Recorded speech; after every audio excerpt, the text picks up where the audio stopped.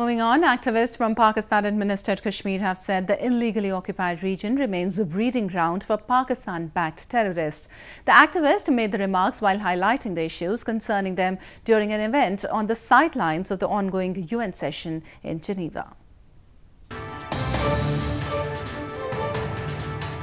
Political activists from Pakistan-administered Kashmir have expressed concerns over growing extremism and terrorist activities in their region during an event on the sidelines of the UNHRC session in Geneva. The activists also highlighted the issues concerning the people in the illegally occupied region.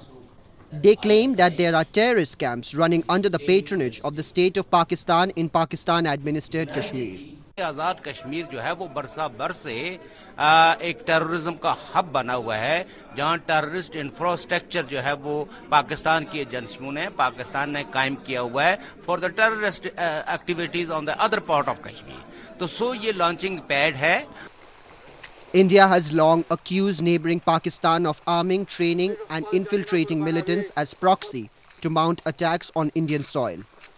New Delhi also accuses Islamabad of sheltering UN-designated terrorist Hafiz Saeed.